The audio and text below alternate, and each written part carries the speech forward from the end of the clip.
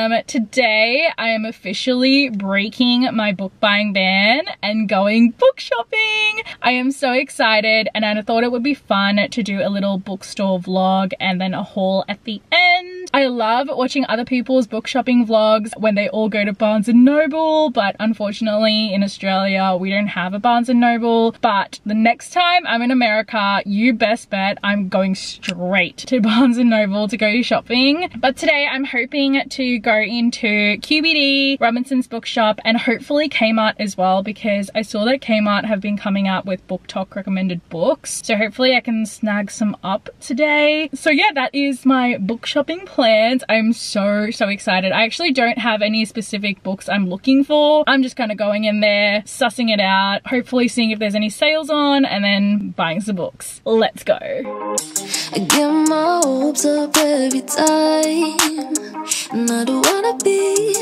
be let down each road to find I just wish I'd seen the price tag for my heart breaking Was it worth all that waiting When I always knew just how I felt?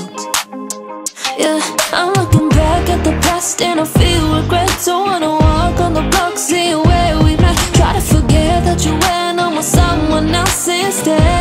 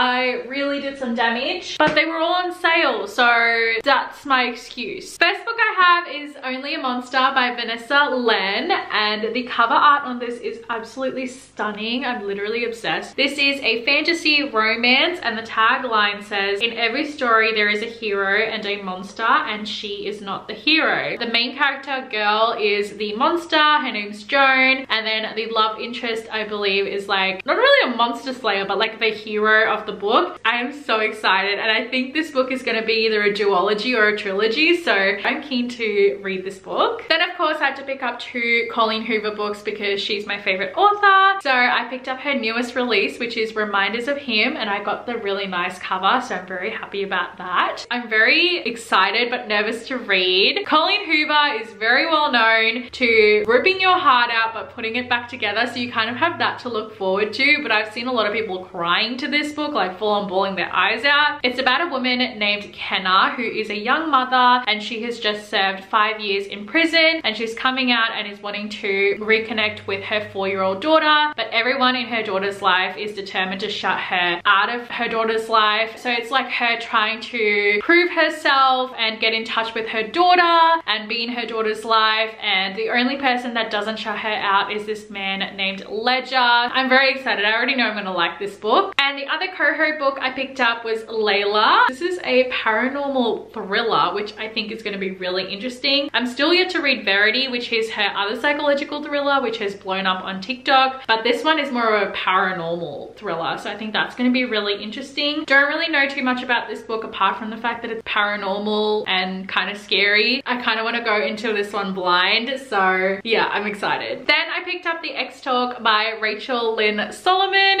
This book just sounds so interesting. This is a rom-com. I'm gonna read the back of the book for you guys. Shay Goldstein has been a producer at her Seattle public radio station for nearly a decade, but lately it's been a constant clash between her and her newest colleague, Dominic Yun. She's fresh off a journalism master's program and convinced he knows everything about public radio. When the struggling station needs a new concept, Shay proposes a show that her boss greenlights with excitement. On the Ex Talk, two exes will deliver relationship advice live on air. Their boss decides Shay and Dominic are the perfect co-hosts given how much they already despise each other. Neither loves the idea of lying to listeners, but it's this or unemployment. The audience gets invested fast and it's not long before the Ex Talk becomes a must listen in Seattle and climbs podcast charts. As the show gets bigger, so does their deception, especially when Shay and Dominic start to fall for each other. In an industry that values truth, getting caught could mean the end of more than just their careers. This sounds like it's gonna be such a funny rom-com. Enemies to lovers, kind of fake dating or fake exes, I suppose, and sort of secret forbidden romance in a sense as well, considering they shouldn't be falling in love, considering they're meant to hate each other and be fake exes on the radio. Then I got two books from the Hot and Hammered series, which are Love Her or Lose Her and Tools of Engagement. I've already read the first book, which was Fix Her Up, and that was one of my favorite reads of March. So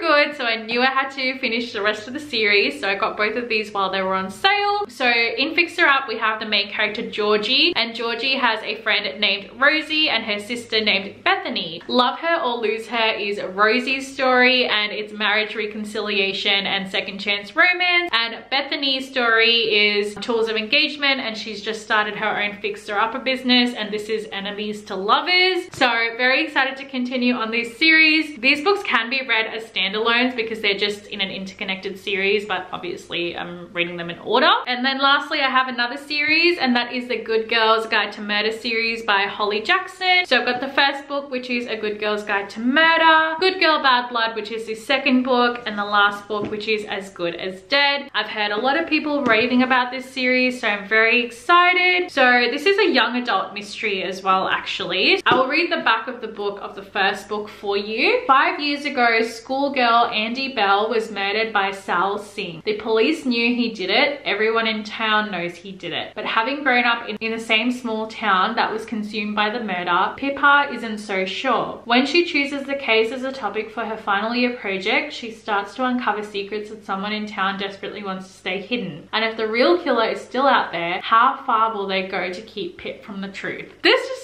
so interesting. I am so excited to read the series and especially now that I own all three books, I definitely have to read the series. So those are the books that I picked up. I hope you guys enjoyed this little book shopping with me and book haul video. Let me know if you guys want to see more of these videos because I will obviously be more than happy to do it because it gives me an excuse to go book shopping. Give this video a huge thumbs up if you did enjoy watching and subscribe to my channel down below because I post new videos every single week. You can also follow me on my Instagram but I also have a Goodreads and a book Instagram as well so I'll have both of those linked down below too and I will see you in my next video. Bye!